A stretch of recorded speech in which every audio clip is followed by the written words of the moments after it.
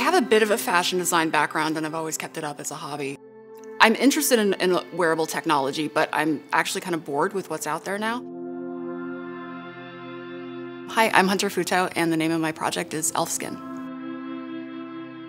Elfskin is uh, an e-ink display that's going to be applied to the skin. So I want to create um, a flexible circuit board with an e-ink display on top that's wireless and can be updatable.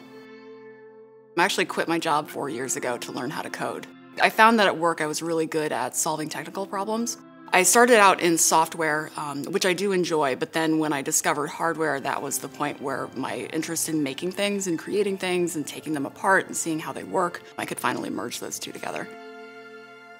Originally, I, I um, came in with the idea to make uh, flexible circuits and specifically printed circuits.